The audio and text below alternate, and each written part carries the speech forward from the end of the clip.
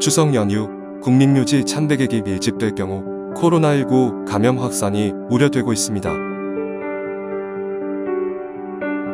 참배객이 집중될 것으로 예상되는 추석 연휴 기간에 현충원, 호국원 등 전국 11개 국립묘지는 현장 참배 대신 온라인 참배 서비스로 대체 운영됩니다. 지금부터 자세하게 안내해 드리겠습니다. 국립묘지, 야외벽, 봉안당, 미폐봉안소 등의 출입이 통제됩니다.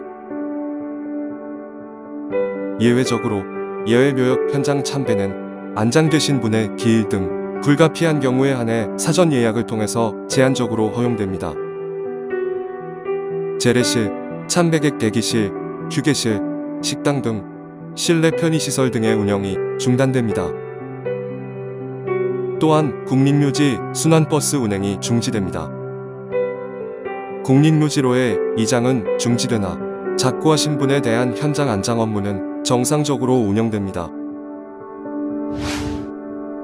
국립묘지 일시 운영 중지에 따른 유족 여러분의 불편을 해소하고자 온라인 참배 서비스를 확대 시행합니다. 각 국립묘지 누리집을 통한 온라인 참배와 추모의 글쓰기를 지원하며 국립묘지 의전단이 유족들의 요청을 받아 헌화 참배 사진 전송 서비스를 시행합니다. 9월 8일 수요일부터 9월 17일 금요일까지 전화 신청한 유족을 대상으로 진행합니다. 9월 15일부터는 온라인 차례상 서비스를 구축해 시행합니다. 더 자세한 사항은 각 국립묘지 누리집 확인 및 유선으로 문의 바랍니다.